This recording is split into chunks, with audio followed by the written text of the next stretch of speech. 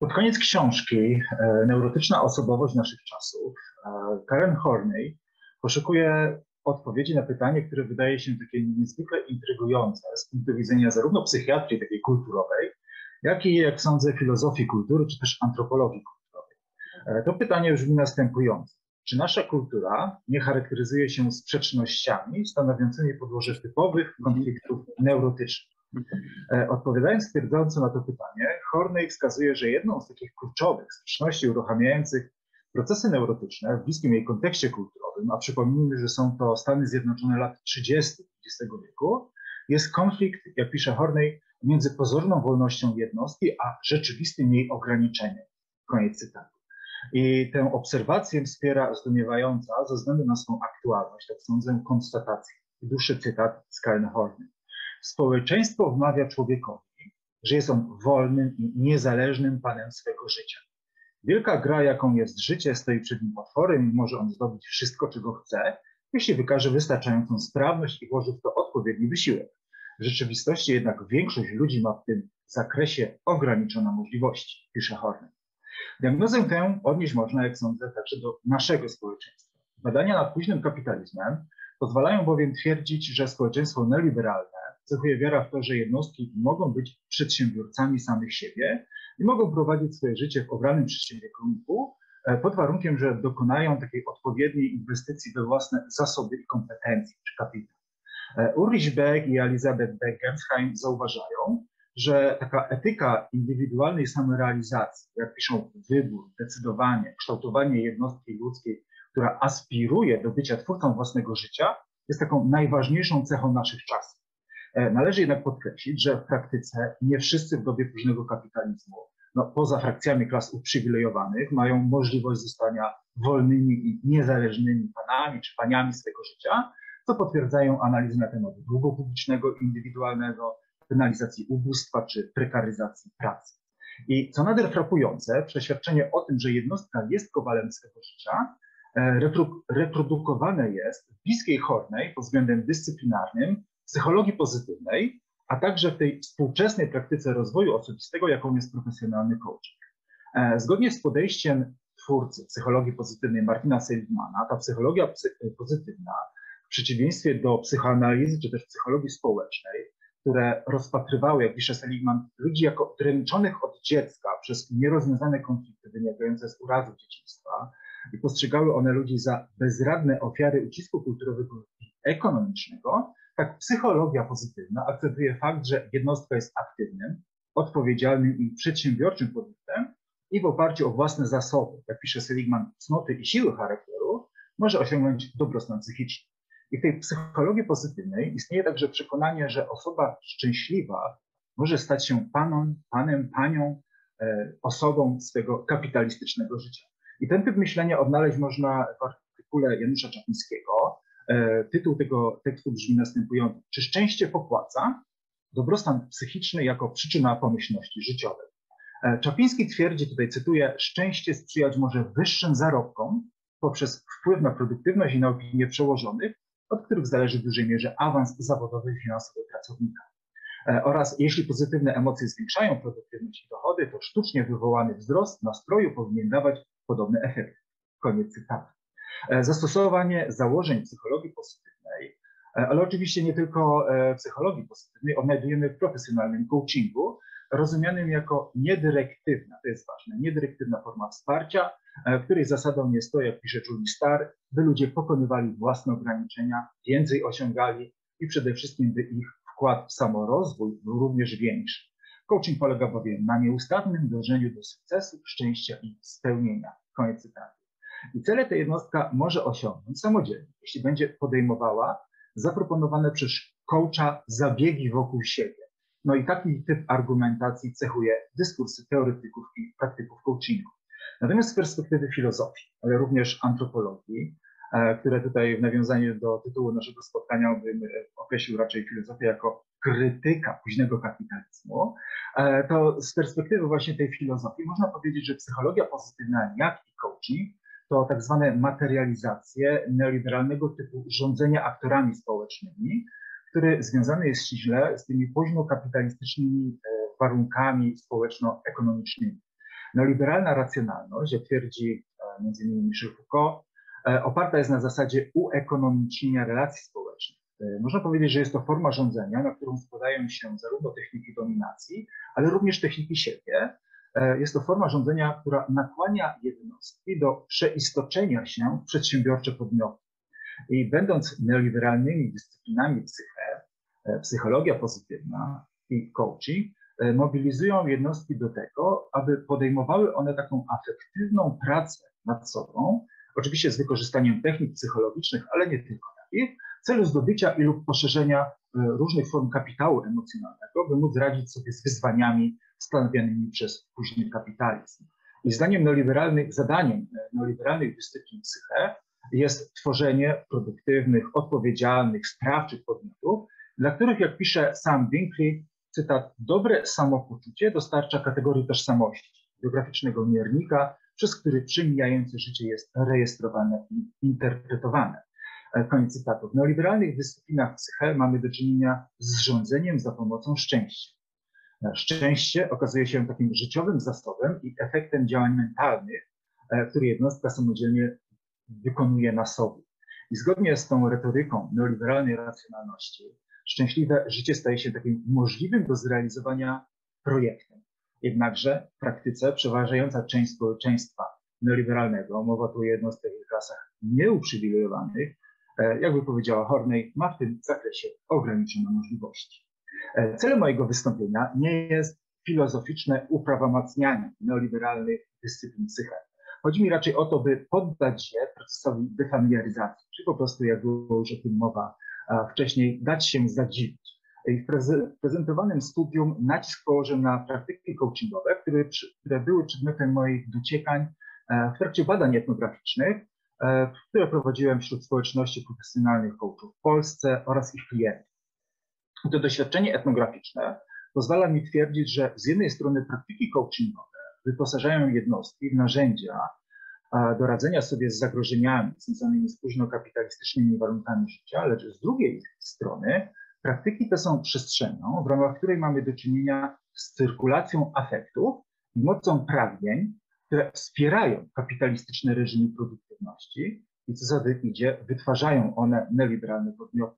I coaching byłby takim narzędziem, zarówno zaspokajającym potrzebę E, zyskania lub zwiększenia pożądanych z punktu widzenia kapitalistycznych stosunków sił tych form kapitału emocjonalnego, ale byłby on raz, tak, także narzędziem produkującym potrzebę zyskania tych form nie? kapitału emocjonalnego. I biorąc pod uwagę przywołaną tu diagnozę, e, w tym moim wystąpieniu e, zmierzam do udzielenia odpowiedzi na takie pytanie, w jaki sposób konstruowane są w procesie coachingowym te neoliberalne podmioty. I odpowiedź na to pytanie chciałbym sformułować w oparciu o ustalenia e, teorii afektów oraz tak zwanej retorycznej teorii e, kultury. E, w takiej książce Kapitalizm, Niewola i Pragnienie Frederick Lorton konstatuje, że tym, co stanowi siłę napędzającą podmioty do działania, też ciekawe nawiązanie do tego, o czym, było, o czym była mowa w wystąpieniu profesora Kosiera, E, e, tym, co e, ta siła napędzająca tak, podmioty do działania, to afekty i mocy pragnień. I z jednej strony, jak pisze Lordon, przedmioty pragnienia są w stosunku do podmiotu pragnącego w pozycji zewnętrznej, czyli są one mu albo proponowane lub wyznaczane bądź narzucane przez kogoś lub coś innego, lecz z drugiej strony, i to cytat z Lordona, to moc konatusa obejmuje przedmioty i ustanawia je przedmiotami pragnienia a owo obejmowanie jej w całości zdeterminowanego afektu. Afekt e, w koncepcji Lordona rozumiany jest jako konsekwencja uczucia powstającego w chwili napotkania przez podmiot przedmiotów, które dzięki tej energii pragnienia, jaką jest konatus, stają się właściwymi przedmiotami pragnienia. I rozważania nad grą pragnień i cyrkulacją afektów Lordon wykorzystuje, aby właściwie wyjaśnić sposób działania, jak on pisze, neoliberalnego przedsiębiorstwa, które rozumie zarówno jako firmę lub korporację, która zatrudnia pracowników, ale również e, rozumie e, je, tego neoliberalne przedsiębiorstwo szerzej, po prostu jako e, taki projekt polityczno-ekonomiczny wpływający na zachowania i postawy konkretnych obywateli. Jak mobilizować pracowników i jednostki do tego, aby radośnie, bez przymusu, same z siebie angażowały się na rzecz neoliberalnego projektu. A co, tym, a co za tym idzie kapitału? To jest pytanie, które e, frapuje Lordona. I Lordon twierdzi, że, cytat, taka mobilizacja polega na współliniowości. E, chodzi o to, by umieścić pragnienie zwerbowanych na linii pragnienia panującego. E, pojmując kapitalizm nie tylko jako system ekonomiczny, również jako proces wytwarzania pragnień, Lordon zauważa, że to skuteczne wdrażanie neoliberalnego projektu współliniowości polega na produkowaniu u pracowników pragnień szczęśliwej pracy. To są jego słowa. Spełnienia i samorealizacji w pracy i poprzez pracę. E, zdaniem Lordona jednym z narzędzi osiągania właśnie tego celu miałby być coaching. Przekształca on, mówimy o coachingu, smutne afekty, właśnie związane z doświadczaniem pracy w kategoriach przymusu, ich radosne odpowiedniki, rodzące się wraz z myślą o pracy w kategoriach źródła osobistego spełnienia. I rozpoznania Lordona chciałbym tutaj uzupełnić o założenia retoryczne tej kultury. E, perspektywa ta w moim przekonaniu pozwala ustalić, że grze afektów e, podczas produkcji tego neoliberalnego ja towarzyszą także działania perswazyjne e, i mobilizowanie podmiotów do wydajniejszej pracy na rzecz neoliberalnego projektu wymaga czegoś, co określa mianem afektywnej autoperswazji, czyli mechanizmu retorycznego, za pomocą którego jednostki poddane procesowi przepływu afektów same przekonują się do upodmiotowienia się lub, jakby ktoś inny powiedział, uprzedmiotowienia się na modłę neoliberalnej racjonalności. I myśl tę chciałbym sformułować, odwołując się do takiej koncepcji wewnętrznej retoryki, internal rhetoric, e, Jean Ninkamp. E, na wewnętrzną retorykę składa się kontinuum form, od intencjonalnych aktów wpływania na swoje działania i postawy, czy też uczucia, do takich nieuświadamianych procesów autoperswazyjnych. I istotne w tej koncepcji jest to, że zadaniem wewnętrznej retoryki jest ta inkorporacja, też było o tym mowa wcześniej podczas wykładu, przez inkorporacja przez jednostkę tych zewnętrznych w stosunku do niej dyskursów, które nie tylko są e, aktami werbalnymi, lecz można je także rozumieć jako takie mentalne przedstawienia ideologii. Celem procesu inkorporacji jest ukonstytuowanie tego retorycznego ja, które w kontekście prowadzonych tutaj przeze mnie analiz można nazwać po prostu neoliberalnym podmiotem. I wykorzystując tę retoryczną teorię kultury, można zatem objaśnić to, w jaki dokładnie sposób podmiot zachęca się do zrobienia czegoś. E, afekt, sam sobie radosny albo smutny, choć kluczowy, nie wystarczy jeszcze, by wprawić ciało w ruch. E, w procesie tym, z mojej perspektywy, pomocą służy metafora, którą filozof Philip Wheelwright zdefiniował jako zmianę ruchu, podkreślając tym samym dynamiczny wymiar tego tropu. I podążając za tą definicją, antropolog James Fernandez wskazał, że metafory będące takim procesem orzekania o nieokreślonym, niekompletnym podmiocie za pomocą znaku obrazu można podzielić na dwa typy. Są to metafory perswazyjne i metafory performatywne. E, te pierwsze powodują zruch afektywny, przemieszczają jednostkę w przestrzeni symbolicznej. Te drugie e, skłaniają jednostkę do podjęcia właśnie działań, dostarczając planu zachowania. Przyczyniają się one właściwie do transformacji życia jednostki. I badania etnograficzne wśród osób, które e, skorzystały z usług coachów, czyli badania etnograficzne wśród coachi, czyli osób coachowanych, pozwalają mi twierdzić, że ten późny kapitalizm odpowiedzialny jest za generowanie i cyrkulację smutnych stanów afektywnych, a następnie wytwarza on instytucje eksperckie, takie innymi jak profesjonalny coaching, które oferują jednostkom narzędzia przekształcania owych stanów w radosne zamienniki, co ostatecznie przyczynia się do wzmocnienia kapitalistycznych stosunków sił. No i w procesie tym mamy do czynienia z taką chiasmatyczną relacją. Kapitalizm strukturalizuje afekty i Następnie afekty strukturalizują kapitalizm.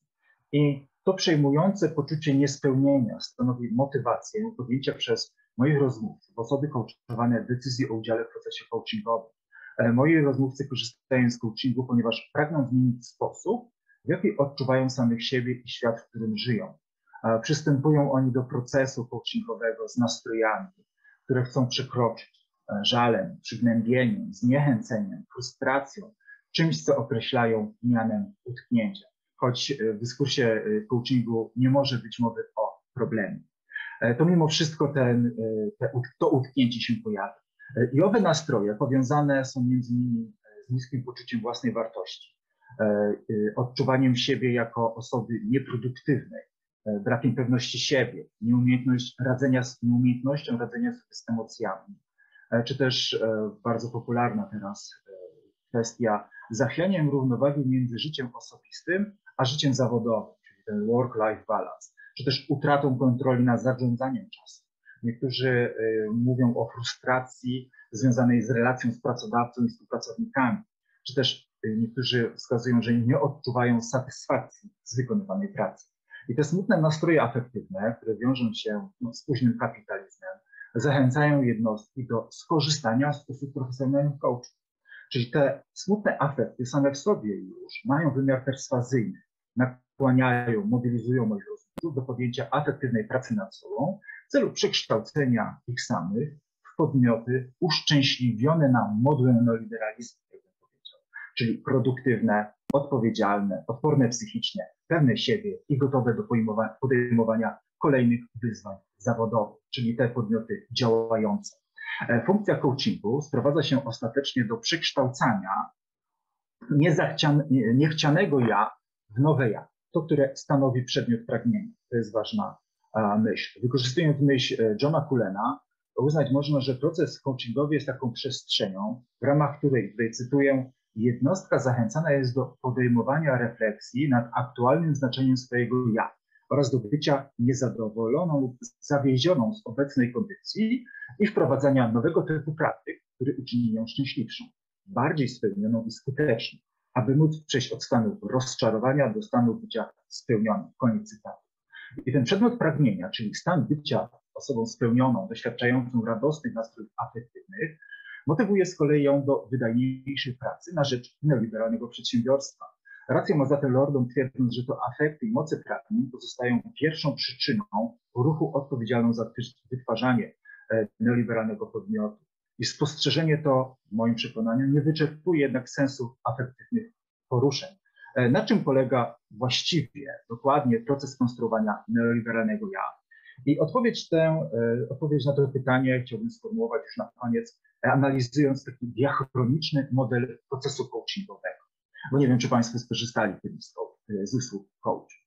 E, będąc pod wpływem coacha, jego, jej pytań otwartych, w stylu, bo coach zadaje takie pytanie otwarte, jak się czujesz? Co chcesz w zamian? Jak chcesz się czuć? jak to możesz osiągnąć.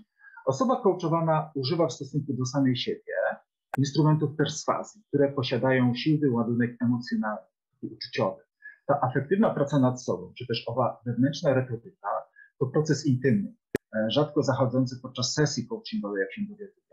Częściej on zachodzi w samotności, w domu, e, podczas spaceru, podczas kąpieli e, i wiąże się on początkowo z nagromadzeniem takich negatywnych stanów afektywnych, które pojawiają się, to jest ważne, wraz z powtórzeniem sobie sformułowanych przez coacha podczas sesji pytań. Istotne jest tu właśnie inkorporowanie dyskursu tego innego, w tym przypadku coacha, oczywiście inkorporowanie przez osobę coachowaną. Chodzi o to, aby uczynić ten dyskurs innego dyskursem własnym. E, bez tego procesu, ten autoperswazyjnego, ten mechanizm uszczęśliwiania się na model neoliberalizmu może się po prostu nie udać. I to osoba coachowana musi sama na siebie wpłynąć w odpowiedni sposób. E, w obliczu zadanego sobie pytania o stan rozczarowania, czyli podczas spaceru ja zadaję sobie pytanie, jak ja się właściwie czuję. Tak? Jednostka stara się uchwycić zrozumiałe ramy własne ja, to, które aktualnie odczuwa w kategoriach negatywnych. Owe ja jest czymś, co nazwałbym tym nieokreślonym podmiotem za Jamesem Fernandezem. Inicjując pracę poznawczo-afektywną nad swoim ja, chcąc je dookreślić, wypełnić sensem, z pomocą jednostce przychodzą e, nacechowane smutkiem metafory. E, przykłady z terenu. Jestem planktonem, jestem łabędziem przymarzniętym do, przymarzniętym do, fali, do tafli jeziora. To dwie metafory z moich badań terenowych zaproponowane przez osoby coachowane. Są to metafory, które nie tylko komunikują o smutnym afekcie, e, lecz również zmagają jego siłę oddziaływania po prostu poruszają one jednostkę. E, wyrażają one doświadczanie własnego ja jako nieprzedsiębiorczego, nieproduktywnego i nieasertywnego. Plankton oznacza w tym przypadku bowiem istotę, która poddaje się biernie oceanicznym prądom, dryfuje plankton zgodnie z ich kierunkiem. Natomiast unieruchomiony łabędź, choć piękny, to nie wykorzystuje w pełni swojego potencjału. Po prostu nie może wzbić się w powietrze. Ta metafora wzbijania się w powietrze też jest tutaj istotna. Obie metafory są, są stosowane przez osoby coachowane w odniesieniu, tutaj muszę przyznać, do kontekstów zawodowych. I to niezwykle ważne, to mówienie o własnym ja za pomocą znaku obrazu planktonu i unieruchomionego łabędzia przyjmuje właściwie formę samooskarżenia. E, z punktu widzenia neoliberalnej racjonalności, postawy bycia nieproduktywnym, nieasertywnym, nieprzedsiębiorczym, czyli właściwie niedziałającym, traktowane są bowiem jako niepożądane. E, tak też postrzega je jednostka, winiąc się za to, że jej sposób bycia sobą można opisać za pomocą właśnie tychże postaw. Oczywiście, to należy podkreślić, rzeczywisty winowajca ukrywa się gdzie indziej, a jest nim kapitalistyczny stosunek pracy, który uwikłana jest jednostką. E, nie zmienia to jednak faktu, że osoba coachowana, będąc na początkowym etapie afektywnej pracy nad sobą, odpowiadając na to pierwsze pytanie, jak ja się właściwie czuję, używa konkretnego trybu retorycznego, nawet jeśli nie zdaje sobie z tego sprawy. Jest to rodzaj retoryczny sądowy. Za pomocą smutnie nacechowanych metafor atakuje ona samą siebie, wytyka sobie wady, przewinienia, zwiększając niejednokrotnie i tak już wysoki poziom niezadowolenia z siebie, tego rozczarowania. I czyni ona to do czasu, aż będzie gotowa, by skonfrontować się z kolejnymi pytaniami otwartymi zadawanymi przez coacha. Co chcę w zamian? Jak chcę się czuć? I pytania te odgrywają kluczową rolę w procesie ucieleśnienia przez jednostkę tej neoliberalnej racjonalności. Mają one siłę afektywnej autoperstazy. Stanowią przykład tego, co retoryczna teoria kultury określa mianem E, ad agendum, chociaż o tym pisał już święty Augustyn, czyli namowa do czynu i zmiany postawy. I w pytaniach tych zawarta jest sugestia, że wyjściowy stan rozczarowania jest możliwy do przezwyciężenia. Szczęście jest przecież projektem do wykonania. Fantazja ta składa się z afektem nadziei i popycha motywuje osobę coachowaną do wytwarzania wizji przyszłości, czyli wizji bycia osobą szczęśliwą. I to projektowanie pożądanego ja wymaga uruchomienia tej funkcji wyobraźni, jaką jest wizualizacja. Na tym etapie afektywnej pracy nad sobą jednostka stara się dookreślić to, co jeszcze jest nieznane, to pożądane ja. I robi to znów za pomocą metafor. Moja rozmówczyni, która na początku procesu coachingowego doświadczała siebie w kategoriach planktonu, teraz zaczyna mówić o sobie, jestem samotną orką. Unieruchomiony łabędź myśli o sobie, jestem czarną panterą. Metafory te można określić mianem metafor perswazyjnych czyli wywołując afektywny ruch, przenoszą one jednostkę do waloryzowanej pozytywnie przestrzeni symbolicznej. Samotna orka, czarna pantera to metafory porządzonego ja, komentują takie postawy, e, no właściwe dla neoliberalizmu, jak proaktywność, sprawczość, przedsiębiorczość, produktywność, asertywność. E, wizualizacja upragnionego ja nie oznacza jego oczywiście urzeczywistnienia. Jednakże metafory perswazyjne mają także wymiar performatywny. Po prostu zachęcają one jednostkę do podejmowania określonych działań, by stać się właśnie tym, tą, tym podmiotem, działa, e, który działa. I już kończąc, e, można powiedzieć, że e, te metafory mają siłę wprawiania ciał w ruch. W oparciu o te metafory performatywne osoby coachowane zaczynają podejmować działania. I przedstawiony tu merytoryczny mechanizm, to ostatni już akapit, afektywnej transformacji ja, odpowiedzialny jest za możliwość realizowania podstawowego celu coachingu, celu, który, i to co niezwykle intrygujące, E, w ten sam sposób definiowany jest zarówno przez teoretyków i praktyków coachingu, jak i jego krytyków, bo to należy podkreślić, pokroju Lordona. Nie mnie, ale Lordona. E, w książce Coaching Biznesowy Anne Scholar cytuje, e, coaching polega na umożliwieniu jednostce przejście z pozycji, czy naprawdę muszę, na pozycję orety, tak bardzo chcę.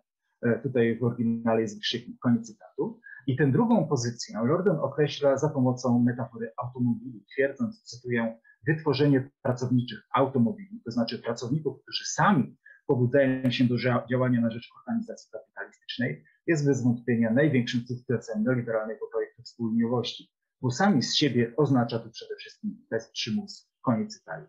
Moje analizy wskazują, że przejście z pozycji muszę na pozycję chcę, skutkujące właściwie wytworzeniem tego neoliberalnego podmiotu, odbywa się za sprawą afektywnych poruszeń. Wprawianie ciał w ruch to zatem sekret nie samego afektu, lecz splotu afektu, mocy pragnień i wewnętrznej retoryki. I na tym chciałbym zakończyć e, dzisiejsze wystąpienie. Dziękuję Państwu bardzo za uwagę.